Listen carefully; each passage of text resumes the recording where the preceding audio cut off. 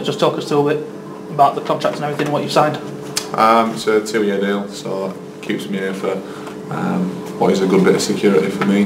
Um, and hopefully it'll be another exciting period for the club and, and for the team that's going to be put out there this season. Yeah, was it a tough decision to sign the contract or were the other options available? Uh, it wasn't really a tough decision. I think I said um, to, to one or two people at the end of last season when I was asked about it, I said I had no real reason to leave and I was keen to try and, and get a deal um, sorted here as quick as I could and um, there's a bit of speculation and, and stuff about other things but um, no, I was only ever really talking to Scunny and uh, just glad to get the deal done Yeah, and get so it signed. So there was a lot of speculation. Was there any truth then in that Sheffield Wednesday move? Um, not that I'm aware of, no. Um, don't know where it's come from or who started it, but they obviously did well because people took up on it. So um, congratulations to the guy who started the rumour, but unfortunately, um, no truth in it.